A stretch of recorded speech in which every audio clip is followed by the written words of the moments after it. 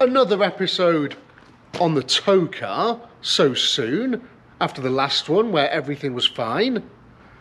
Can't be good news, can it? And it isn't.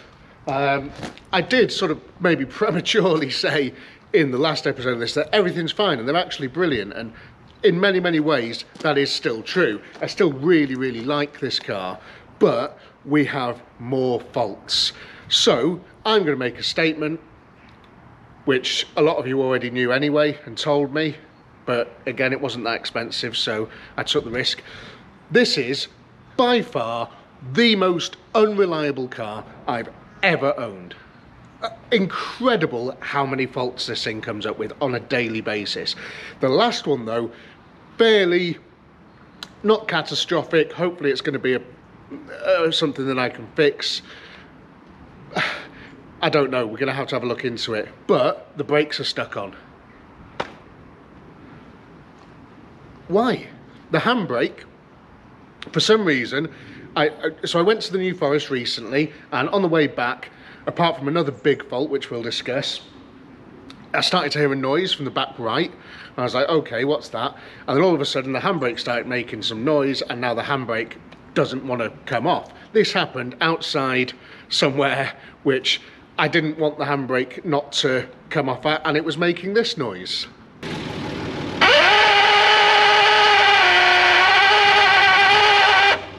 and there was lots of people looking at me while my car was making this noise and to be honest it was quite embarrassing. So um, yeah I need to fix that because I've had to drive all the way from Chester to here with the handbrake locked on. The rear brakes are red hot. Great um, there's no other option. I could come and tow it with the truck I could come it but I can't get this on the tray it's too wide and I had to pay for some recovery and I don't need this you know? I need a reliable tow car which is something we're going to get onto because it might be might be time to say goodbye to this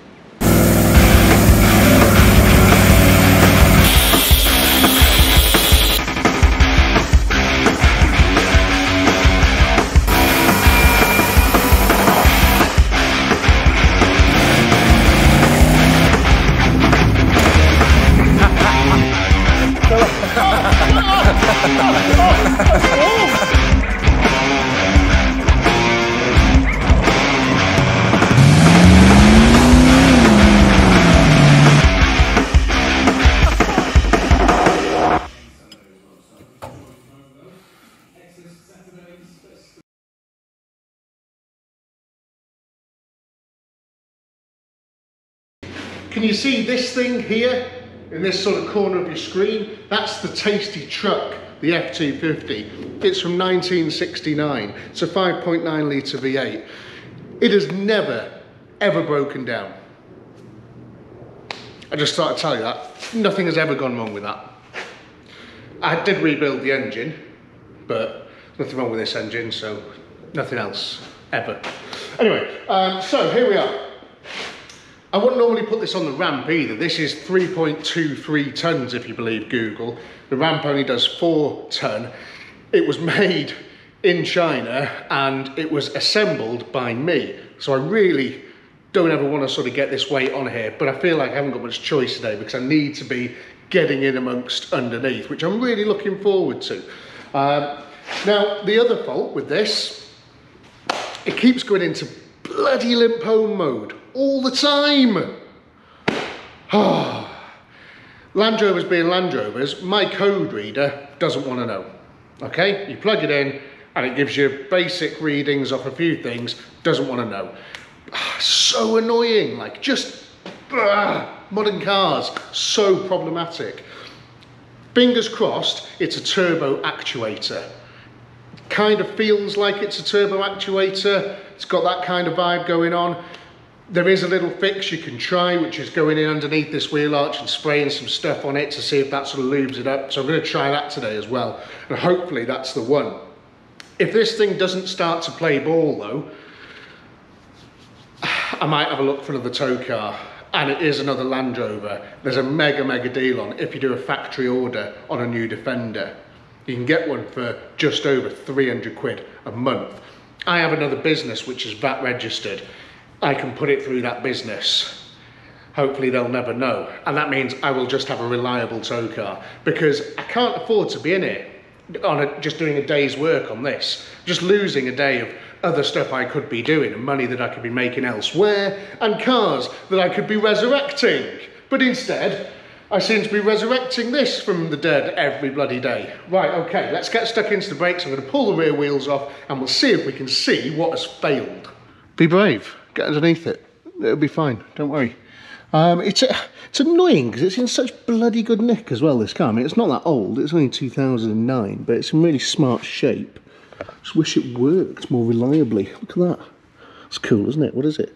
It also, a few other things like annoying me recently. It doesn't have a reverse light and it's it's just something I'm going to have a look into, but the reverse light switch isn't working. I know it's the switch. So I'm just going to find out what's going on with all that, you know?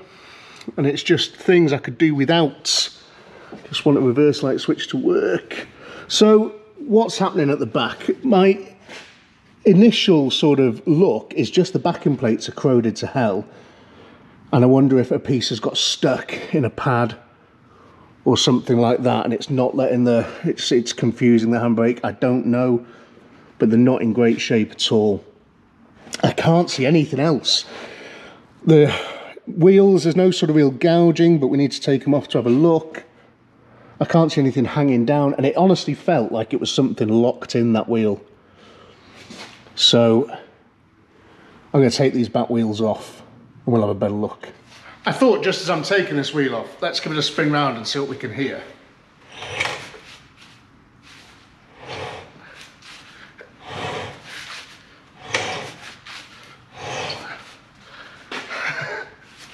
Sounds like potentially catastrophic failure of the brake pads, which would be good news.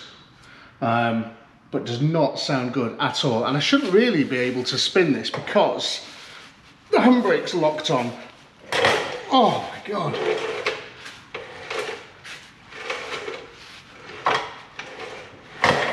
Oh, what about the other one?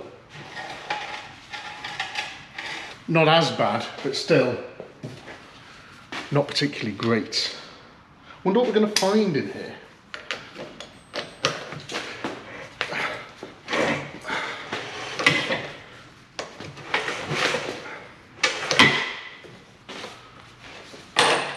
A thing to mention as well is that I don't just use my tow car to tow cars around, you know, picking up stuff around the country, all these cool classic cars. Cool. Um, I use it, I have to commute to work, essentially, a different work in a different place. And I have to do that quite often. I have to be able to go there quickly. I have to be able to do all that sort of stuff which I need to do tomorrow. And now I can't do in this. My only other vehicle is the truck. So I'm gonna have to go in the truck, which is gonna cost me probably the best part of 80 quid in petrol if I can't fix this.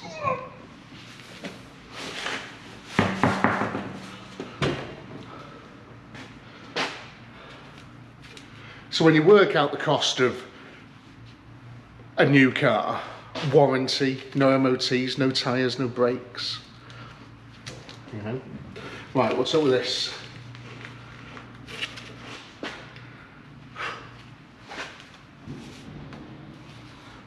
All the different, everything looks good as well. I don't think it's that.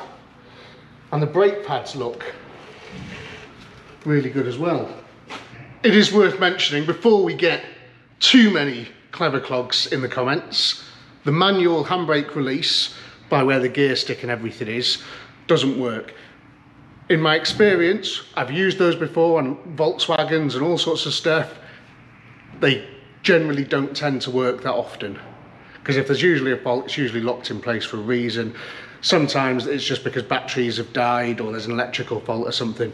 This isn't that case, so it's, it's useless. Look at this Milwaukee in action. How good.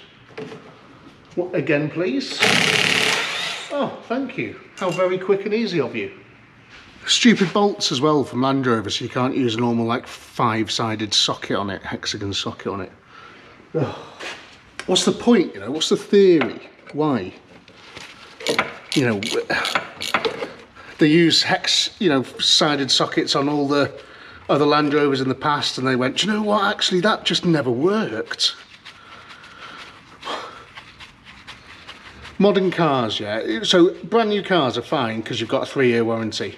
So I had a new Jag a while ago. I had an E-Pace before I started doing the YouTube and it went back to the dealer all the time, like all the time, because it was a fucking nightmare. Apparently the Defenders are a lot better though. I'll let you know. Unless this fixes itself, of course. Doesn't give me any grief.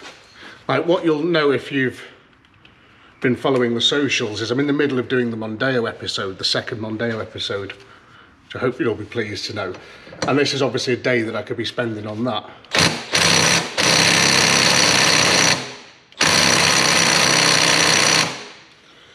Doesn't want to come out, does it? Let's use this metal one.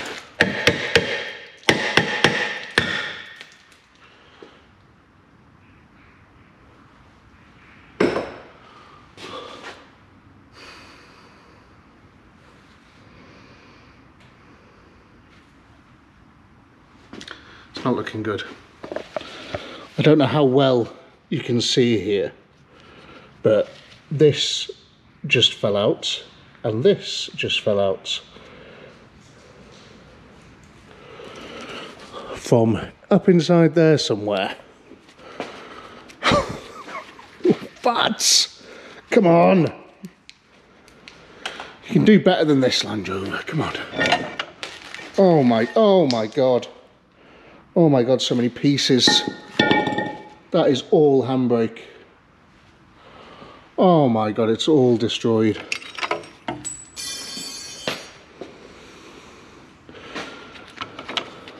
Oh my god, the handbrake has completely shut its pants. Oh, fuck's sake. Nice one. Oh, just haven't got the time for this. Fuck's sake.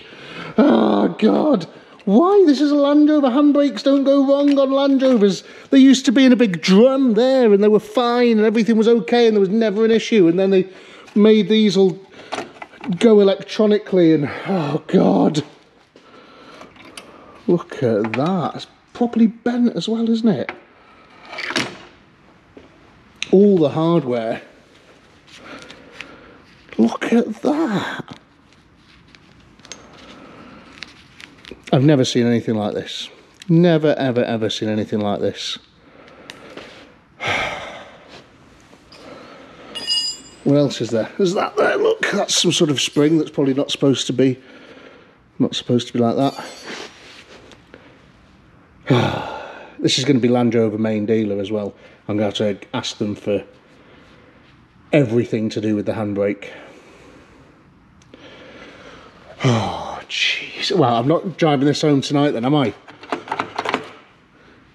Right, let's get this stripped down a bit more and see if I can see what's actually failed. Apart from all of that. I don't know how this is supposed to look like, but I'm pretty sure it's not supposed to sort of look like this. Can you see that big hole in it or whatever that is? So maybe that sort of did something and led to all this going to Valhalla. What I would love to do, right, is to pull that side off and for it to be perfect. So then I would have a map of how this works. Because if I don't, I mean, fucking hell, good luck, yeah? I can't wait to get my head around that. Like it would have got toasty warm inside here, driving it here, but just feel like it's working maybe a bit more than the other. Still definitely something grinding away in there though. Brilliant. The annoying thing is as well, is I really like this car. It looks great on the road. It tows so, so, so well. There's a couple of big annoying things though, like obviously the reliability, but lack of cruise control. nobody can fix it, nobody can code it in, um, and they possibly something to do with the old CAN bus system, not reading it properly, and maybe an issue in there, and just something that's just not good. CAN bus systems are a nightmare. CAN bus systems on this car make my trailer lights flash. What? Stop making them so complicated. I think they make them to fail. Do you know what I mean? They make them to only last a certain amount of time. So you go in and buy a new one, which is why buying a new one might be better idea. Because if you can't beat them, join them. You know. What about now? Okay, still not good. Not good. Right, we're going in dry.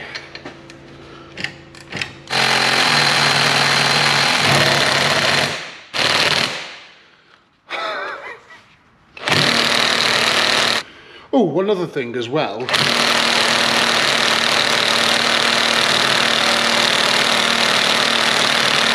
And you don't want to just risk that at all, you know.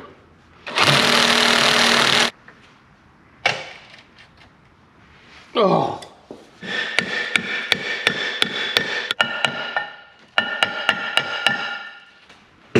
We could be in luck. Even though I've taken all the life off those shoes, and that one there was almost metal on metal. So I might have to get some new brake shoes as well. But maybe some discs. New discs, new shoes, all new brake components, springs, levers. I don't want to have to buy new handbrake cables. I don't want to have to get into that handbrake box because that's a whole another. Oh, I think you can just about see it up there. I think you've got to take the body off the chassis, take the axle out. Actually, I think it's just take the spare wheel out, but um, and maybe some other bits. Right, I'm gonna. It's Sunday. I can't do anything.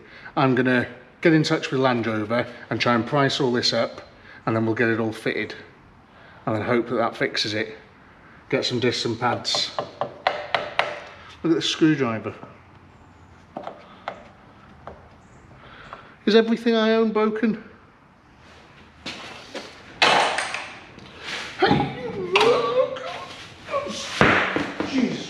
so heavy Ugh. Ah. Okay. What do these look like? Yeah, got a bit of life left in them, I suppose. Um, so, back brakes notwithstanding, because I think I can get that sorted, providing the bits are available at Land Rover, but it's still relatively new, this car. And if not, there's bound to be a breakers somewhere that could help me out probably loads of these being broken for parts, isn't there? uh, so yeah, um, that's not too much of a worry, really, because it's just brakes and the brakes are easy. But it's inconvenient, very inconvenient, and it's costing me money and taking time. But the real problem is this limp home mode. So nobody wants limp home mode, man. Like, you know, you've got your, your babe sat next to you in the passenger seat and all of a sudden your car's going to limp home mode. And she's like, oh, is everything okay, dear? And the car's like, beep, beep, beep, beep, beep. And you're like, yeah, yeah, it's fine. So all I had to do is switch it off, switch it back on again, which is fine. A bit sketchy at 80 mile an hour in the outside lane, but it stops it and it carries on going and everything's okay. Now, there's a million things that could be causing this, which is the bigger issue of them all. The first one that I'm going to start with having a look at,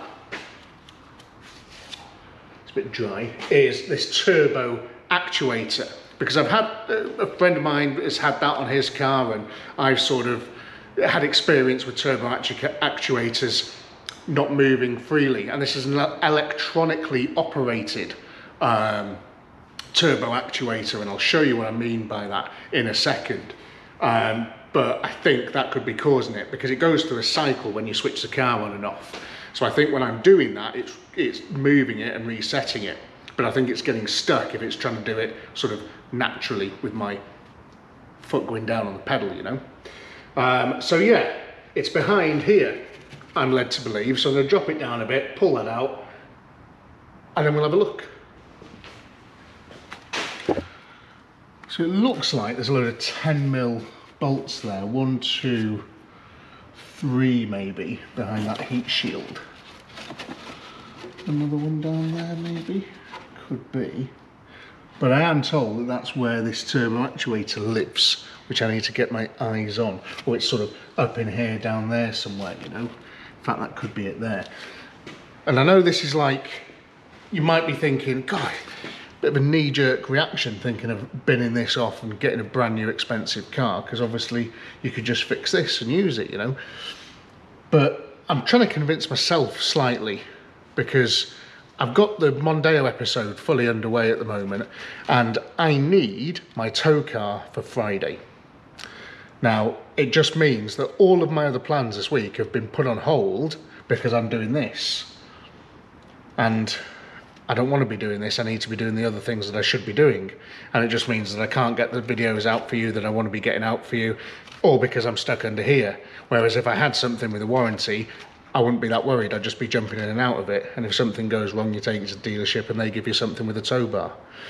So yeah, that's where my head's at with this really. But if this fixes it and the handbrake is fixed, then, you know, who knows? But let's get this cover off first and see what we've got.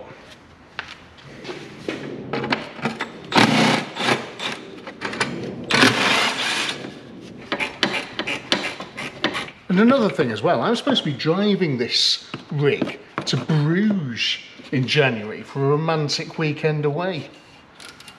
I'm not driving this to Bruges. Things keep bloody exploding on it, imagine that. Well, that one doesn't want to come out. Oh, that's going to snap, isn't it? I can feel it. The gas. How are you, how are you supposed to see anything? So that's the turbo. Uh-huh. Oh, yes. Okay. I can't really get to it from there. Looked a lot different in the video that I watched. There was definitely more access. Turns out I, the video I'd watched was for a Range Rover. So I can't put eyes on this turbo actuator from under there, which I really wanted to. Because it looked so easy when the man did it on the TV.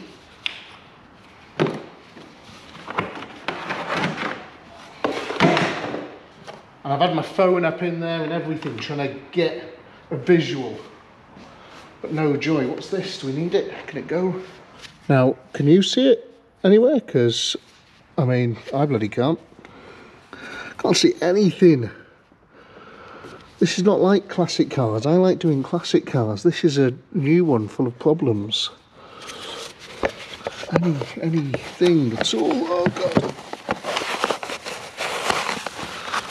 Why has it got a blanket on it?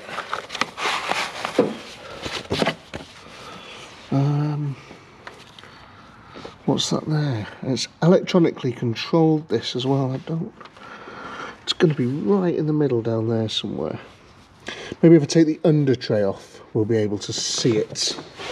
These are the biggest under tray bolts you'll ever see. 17 mils.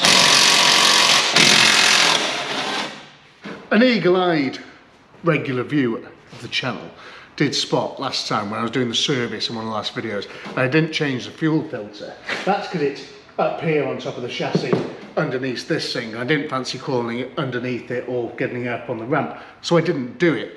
The other day, because of the limp home mode, I did do it, so I have changed the fuel filter on this and it made fuck all difference, but it's good to know that it has changed because he said his had degraded and started to fall apart and done all sorts of bad things. So anyway, that's been changed. Is this supposed to be this heavy duty? Did this used to be an armoured car or something? I reckon you could drive over a grenade in this and you'd be okay.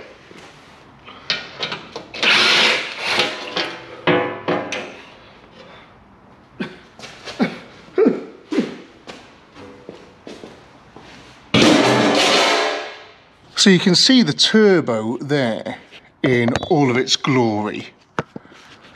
Um, but again, I just can't see the bloody actuator at all. It's behind all of that there. So I'm going to have another quick go inside here, see if I can do anything now that I've got some access from underneath. This little LED anal probe here is hopefully going to help us in our pursuit here because this is insane. And the reason I can't see it is because it's hidden. Don't know if you can see where I'm putting this. Right in there. You see? Really, really difficult to get to. I just found a very helpful video on YouTube that showed me. So anyway, uh, let's get this in focus. So see that there, that ball, that is the end of the actuator, right? The turbo actuator. That's a really good shot of it there. So that arm that it's on there electronically moves the turbo actuator in and out. Now the problem I've got is that this doesn't look, to be honest, in that bad a condition. Which is not really what I wanted to see. I wanted to see that sort of fairly rusty so I could try and just sort of clean it, copper grease it, which I'm still going to do. But yeah, not massively ideal. So I'm going to leave this there. I'm going to go and activate that turbo actuator by turning the car on and off. I need you to keep your eye on that. Hopefully the handbrake doesn't do anything either while I'm in there, because that'd be annoying, wouldn't it? Right, okay, show me what's happening.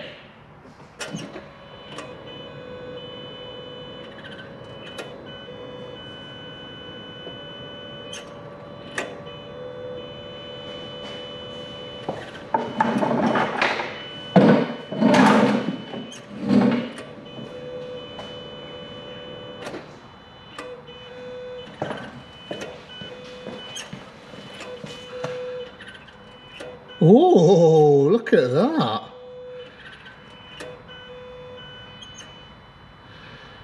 It is moving. Looked okay from what I just saw that little bit then. So, it's probably not my problem. okay, well at least, you know, I can, I know exactly where it is now. And I'm going to get this thing, I'm just going to start pouring plus gas in it now. And I'm going to continue to pour plus gas in it, I think. So look, realistically, that's not what I wanted to see. um, I, I, try and find an image of what I actually wanted to see um, and what I thought the problem might be, and then I'll try and put it up now as I'm waffling along. Um, that actuator looks like it's moving absolutely fine. Everything looks okay around it. So I'm not really sure that it's going to be that. I don't know. And there's no, the lubrication parts aren't what I thought it would be. I thought you'd be able to see where it sort of goes in and does its job.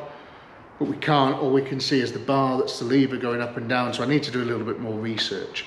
Um, so yeah, I'll do that tonight and then we'll come back on this hopefully Tuesday and hopefully, fingers crossed, I might get some parts by then as well. And we can at least get the back brakes going because it's still drivable because it doesn't do the limp home mode thing all the time. It just does it, I don't know, at the least convenient moments. But we'll crack on and uh, hopefully even just doing this with a bit of grease and stuff, it might help, who knows. Rightio then. There you have roughly 200 quid's worth. And four days later um, some brake parts. Long time isn't it? Four days. And one of the parts I needed didn't arrive but thankfully it's in the fitting kit for the brake shoes. So I need to get them fitted I think. Uh, right I'm going to do all that try and put it off back on looking at the other side and just sort of there's a bird in the workshop you see that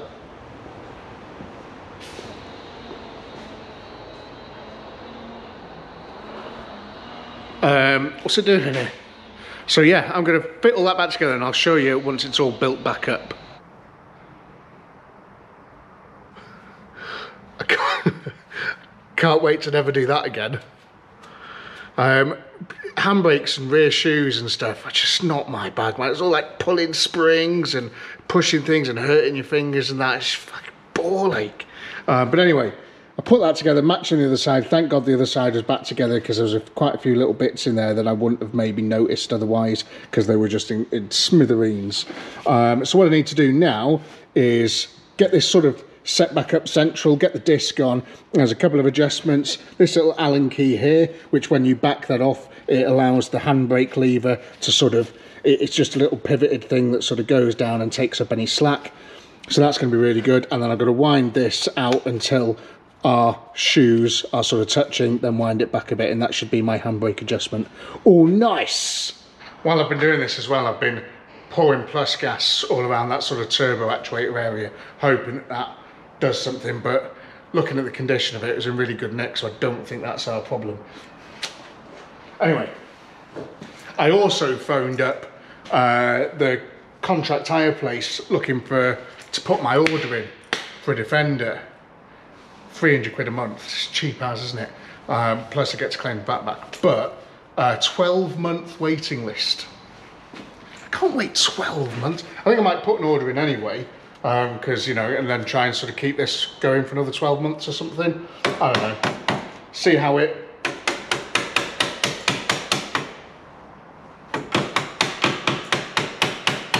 see how it behaves. Okay, after much fiddling about and releasing the manual handbrake, which now works because this is not in a million pieces, um, I've got it to spin, which is fantastic and it feels real nice. So I've got to look through here and I've got to find this little Allen key and I'll show you what that's all about on these other things, what we're going to use for the other side that take up the slack. So these are the, one of the shoes for the other side, right? And this really complicated, horrible looking and completely unnecessary thing here. Um, it's amazing, we had handbrakes on cars for years before we started doing stupid stuff like this. So, I don't know how well you can see this, but this is spring loaded and it's on the little Allen key behind it, right? So let me just tighten that up. So you can see that Allen key there, you tighten that up, and now that's locked in place. Now when that's locked in place, you can see it's the same depth there, which is where it sits against the thing, right? But when you release it, the spring loadedness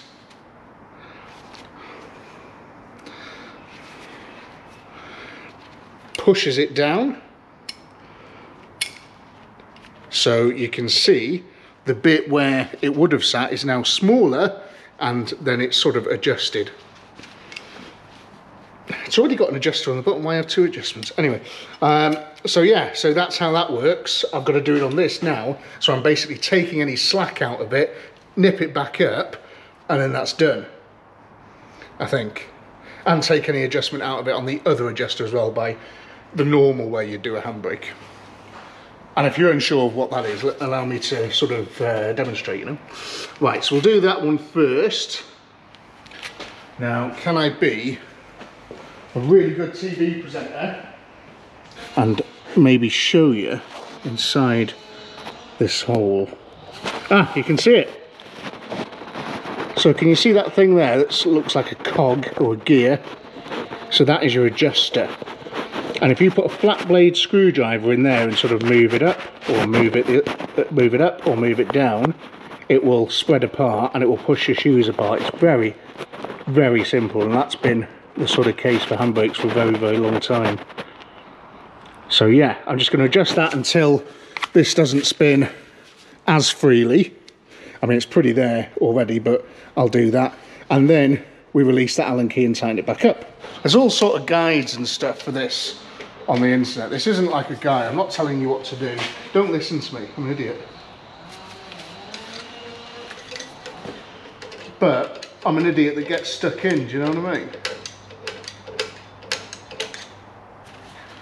Makes bad financial decisions. Which way? That way. It's against a little spring as well, so it sort of feels like it's clicking each time, which is pretty cool. torch. Okay, how's that feel? Starting to hear the shoes on it now. Does that make sense? You following? Barely makes sense and I'm the one bloody doing it. Now I have to get this car, this Discovery, off the ramp today because tomorrow I have to do the last workshop day on the Mondeo. Oh, I need the ramp for it. So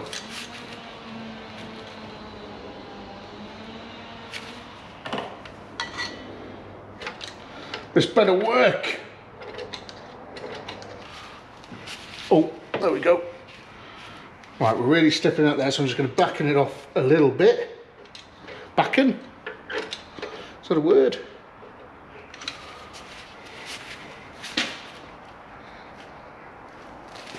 Tiny amount more. Just a tiny amount. Right, lovely. That'll do for me. Very nice. Uh, right. Where's this Allen key? So the Allen key's directly in there. And if I take the slack off it and then tighten it back up, fingers crossed,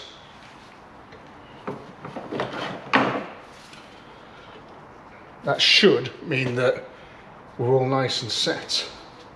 And what I'll do, if I can be asked, is in a couple of hundred miles, I'll pull these wheels off and I'll just do a complete brake adjustment again and that'll keep the handbrake happy and stop it going or whatever that noise was that it made. Right, okay, put the other side back together, put the wheels on, pray to God the handbrake works. Cool. That was a very long day. It's all back together. Don't know if it's going to work or not. What do you reckon? I mean, all the brakes are together and everything, so if there's anything else wrong with the handbrake, it's going to be in the handbrake box thing. So let's fire up and see what happens. Okay.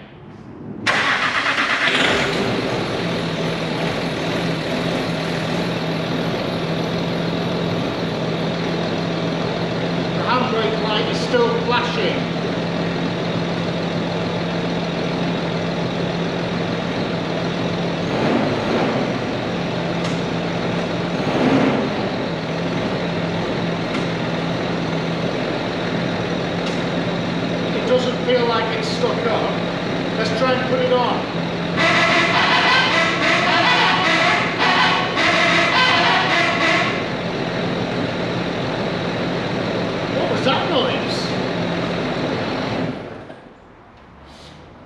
Doesn't want to work.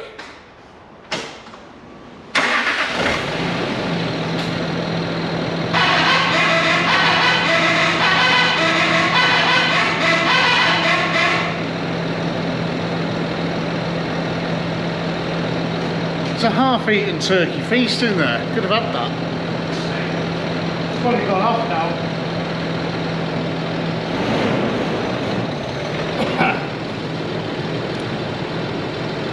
So it would seem that it doesn't want to do anything.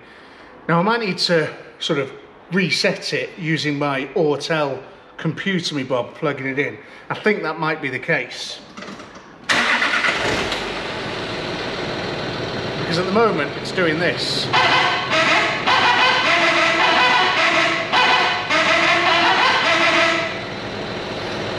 Possessed. But it's not on. And I can live with the handbrake not being gone. I can't live it with it being on all the time, but off all the time. That's that's cool. At least I can use it. Got gears, you know, leave it in gear.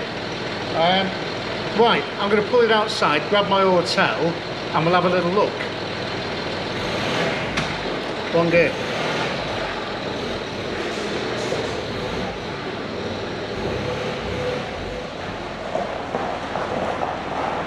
Awfully dark out here, isn't it?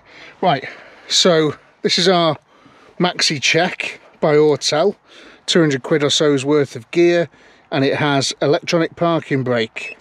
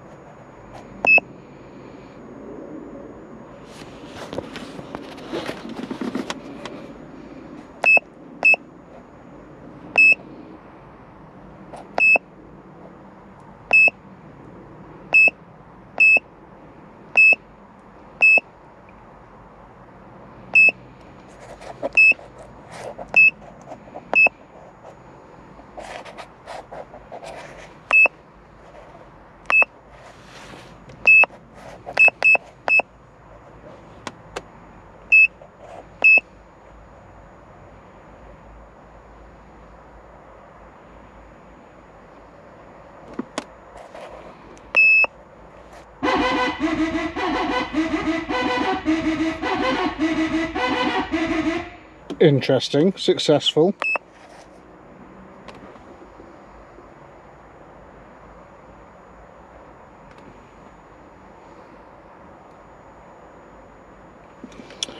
Yeah, I know, I've just bloody done the thing.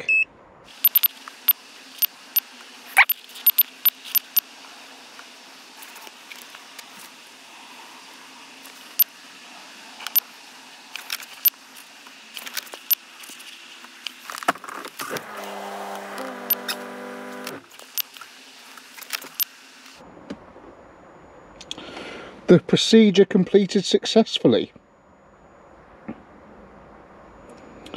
Yeah, yeah, yeah, yeah, yeah, yeah, yeah. Okay, okay.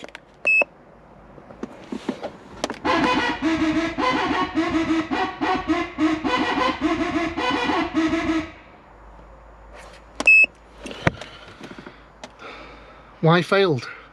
What's what's what's wrong?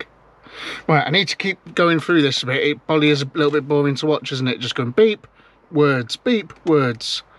Um, I'll have a little play with it. In terms of the limp home mode as well, it's going to be sort of two days-ish before this video comes out. So I'm going to let you know in the comments as to whether or not the limp home mode issue is fixed for now. I'm sure it's going to come back in or I'm sure it's something else. I don't think we fixed it doing that, um, but it was worth a try. So uh, yeah, let me have a little play with this and see where we get to. So there we are then. I've, I've had a go and it's kind of worked because the handbrake is now no longer jammed on and all the hardware and everything's all new and in there and looking great. However, it's still, the, the, it's not working. It says it can't latch, the emergency has been pulled. Great. What I think is the case is that I'm going to need to either pull the spare wheel off and check the emergency cables not pulled out or whatever, or when I set the handbrake on the um, cables, when I, when I attached the cables, I don't know if the cable was in the right position. Bear with me. So what I think is that on my Autel, I noticed it said um, set cables to mounting position. So what I should have done is set the cables to the mounting position and then mounted the brakes. And then that would have had it, you know, enough cable or, or whatever, and when you adjusted it up or something, it would just be just right. I didn't do that. So that might be the case. It might just need a drive home, let the battery charge up for a bit, and tomorrow morning it'll work. I don't know. For now, though, I can just leave it in gear, thank God everything's going to be okay and I can still use the bloody thing. Um, so yeah, for now, that's going to do us. I'm going to let you know in the comments what happened. I'm not going to be able to do the brakes. I'm not going to be able to have another look until next week now. But the moral of this um, episode is, if you want to run one of these, you've got to either know everything about them, be, you know, completely immersed in the world of Land Rovers and have all the equipment and everything, um, or because if you're going to have a go, it's going to be on your ramp for four days and it's going to cost you two or three hundred quid. Or you stick it with a specialist and have a large bill very, very often. So that is pretty much my experience of this Land Rover Discovery ownership. Um, I'm still thinking about getting a Defender. I don't know. I'll see what my guy says. Maybe stick an order in for next year and just, you know, have that to look forward to. Because this has been a week that I could have done with doing a lot of other stuff around the workshop. But anyway, it's all good. Um, at least I can take this home. And the truck's been great for the last four days. It's been fantastic, been enjoying driving it. Anyway, uh, thanks very much for watching, and I'll see you again soon. Bye.